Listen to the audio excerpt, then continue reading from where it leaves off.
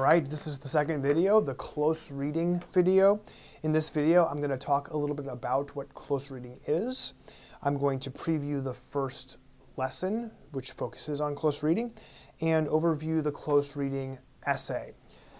So, the majority of this course is spent learning how to read and write about texts, and three of the portfolio essays are close reading essays. Why are we focusing on close reading?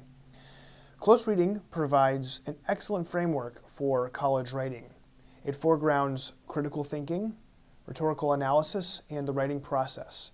These are the three areas that distinguish college level writing and has application across all college writing contexts and disciplines. It fits the reading and discussion outcomes of LIBA and leads to more sophisticated and proficient writing. It requires students to engage with texts in a direct, unmediated way. Often, students think essay writing means writing to a template uh, and synthesizing authorities, authoritative sources that they have found uh, on the internet. Of course, synthesizing is a big part of college writing, but it is incomplete and incoherent in the absence of one own, one's own judgment and observation close reading turns off these other voices so students can hear their own. What are these other voices?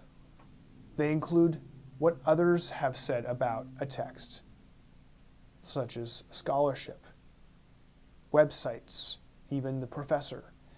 It includes what the text is culturally accepted to mean, that kind of historical reception of the text's meaning. It includes the author's biography as an interpretive lens.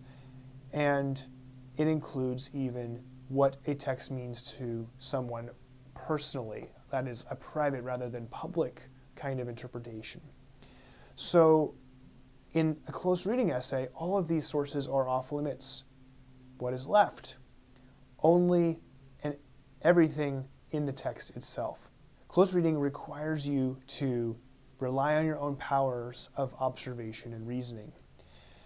A few years back, there was a term called the threshold concept going around higher education. It refers to a conceptual pinch point that precedes comprehension and opens up uh, an understanding of a whole field or skill set. They're difficult, and students have to wrestle with them, and it takes a few times before they pass through a, th a threshold concept. And teachers agree that college courses can really only teach one or two of them. This is the threshold concept we are teaching in LIBA close reading, relying on your own observation. What exactly does close reading look like? Well, the best way to get a feel for it is just by diving in. And that's what we do in the first lesson. So let's talk about that. Sometime during the first few weeks, probably in the week before you launch into the first major essay, you should do the collaborative close reading activity, which I have linked in Foxtail. It's a great lesson plan, and there's a natural break in it halfway through, so you can either do it all 75 minutes in one day or break it up into two days. You can read the lesson yourself, but basically, in a nutshell, you pick one of the most interesting, juiciest passages from the book you're reading in the first unit, whatever text you choose for that first unit. You divide that passage, about a page worth, maybe, maybe about half a page's worth, uh, into three chunks. Type and print out those chunks in a large font. And in class, have students work in small groups to annotate each passage in one per group uh, ex as exhaustively as they can, identifying everything that they see in the passage. They can highlight and look up the definitions of words they don't understand. They can circle phrases that have a certain tone to them. They can look for ambigu ambiguous words. They can find patterns in the word choices that are being made. If they know literary devices, they can analyze those. Every 15 minutes, you rotate the passage, and the next group continues finding details in the passage that the previous group missed adding those annotations to the ones that were already on the page. That's the first half of the lesson. In the second half, the passages is returned to the original groups, and each group writes a thesis statement explaining how the passage is crafted to achieve a certain effect on the reader. Then they write a paragraph supporting their thesis using all the evidence they found in the annotation stage. And they finally read those paragraphs to the class and discuss the differences in their interpretations. It's a great activity and it directly models the close reading process. In fact, it is exactly what they do on their close reading essay assignment, which I will talk about now. You have the assignment in Foxtail. Let me just hit a few points. The assignment asks them to select a short passage from one of the texts from the unit and using close reading strategies, write a four to five page essay arguing for a specific interpretation of the passage. The assignment is broken up into two steps, the exact same steps they did in the collaborative activity.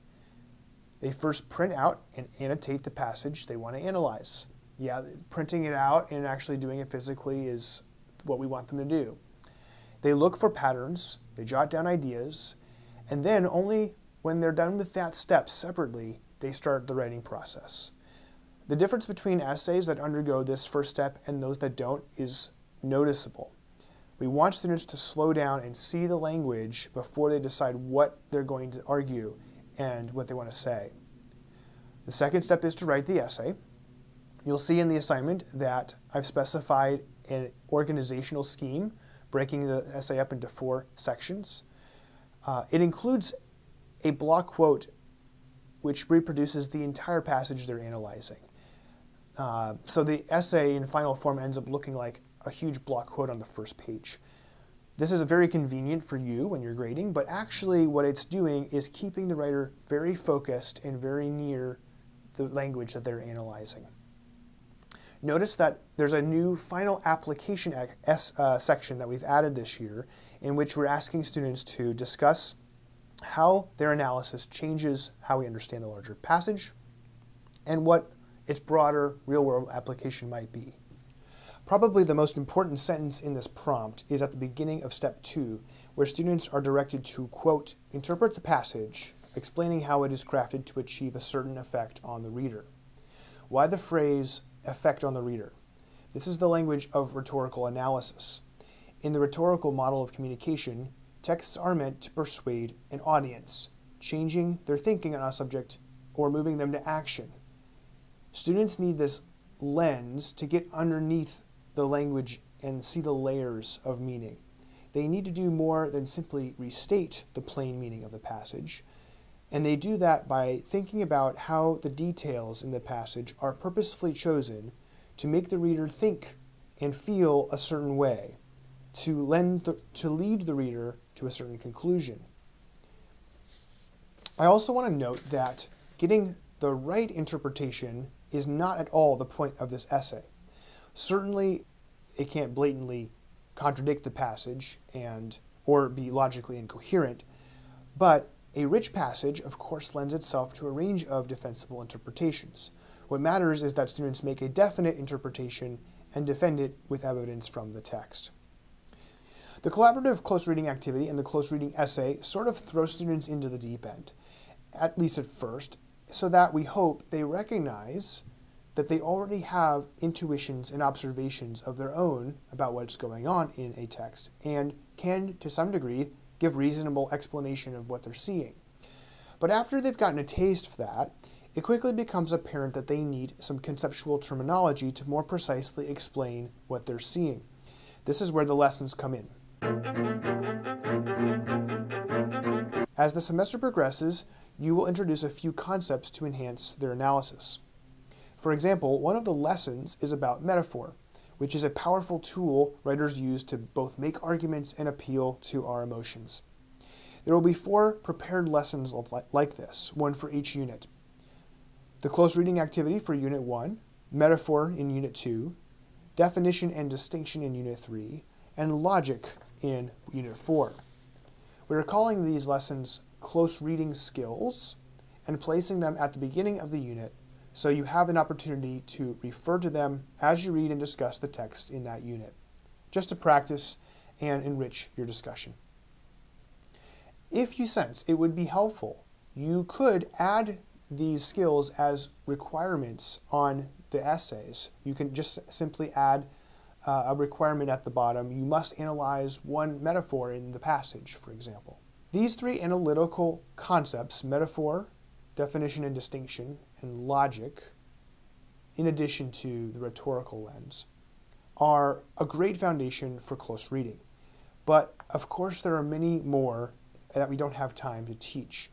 I plan to prepare a list of mini lessons on additional style concepts, and should you want, you can insert these at any point as you work through the course readings.